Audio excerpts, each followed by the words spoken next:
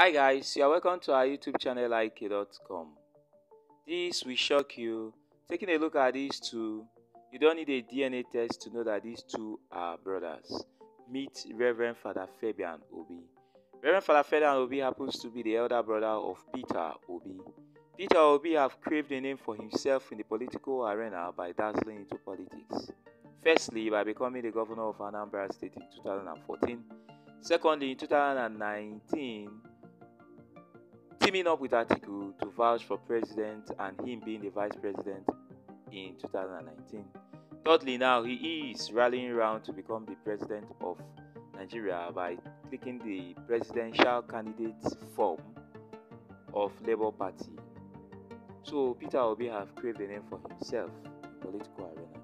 His brother is not left out also. Being a Catholic priest, he has craved a name for himself in religiosity by being a good teacher.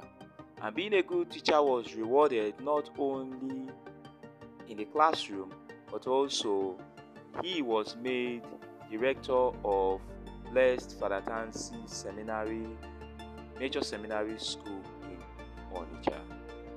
So these two folds have been successful or is successful in the area they chose. Peter will be choosing the political arena, this seems worthy, while his brother taking a religious step becoming a Catholic Thanks a lot for staying tuned to the end